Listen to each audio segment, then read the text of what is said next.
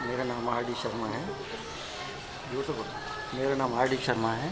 मैं सन 2000 से साकेत से में हूँ।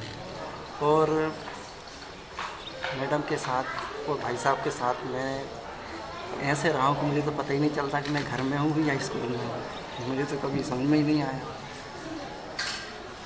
इनके इतने लाड़ प्यार से आज तक बीस साल बाईस साल हो गए मुझे ही नहीं पता पड़ा कब मेरे साल निकल गए मेरे को टाइम का ही पता नहीं चला। अब मैं क्या बोलूँ, समझ में नहीं आया और अगर बीस एक साल और मिल जाए तो मैं तो और भी काम करता रहूँ। भाई, मैं तो इतना ही कहूँगा कि मैं तो ऐसा ही संलग्न रहूँ और संस्था के लिए काम करता रहूँ। बस धन्यवाद।